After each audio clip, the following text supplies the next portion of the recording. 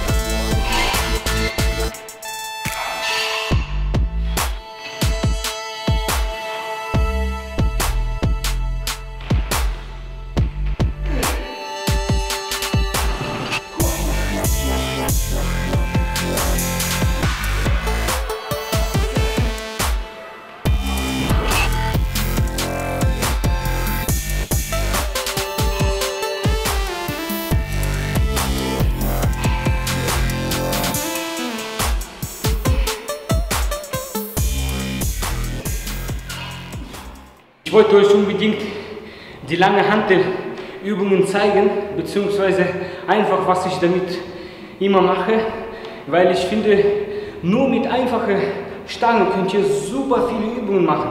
Euren ganzen Körper kann in Anspruch genommen werden und das ist genau wichtig für Kampfsportler. Genau diese Übung müsst ihr unbedingt machen oder die einige davon, ja, das was ihr könnt. Langsam anfangen und dann aufbauen. Es gibt auch im Januar eine von Großhaus, von unserem Partner, richtig ein Seminar dafür, wie man lange halten hochhebt. Das werde ich unten im Link teilen. Wenn ihr Lust habt, könnt ihr das mitmachen und wirklich sehen, wie gut das ist. Ja? Deswegen von One to Punch auf jeden Fall lange Stange benutzen, weil man hat wirklich viel Spaß und ihr könnt nirgendwo eure Körper austricksen. Überall muss immer Einsatz gemacht werden. Es muss immer volle Kraft gemacht werden.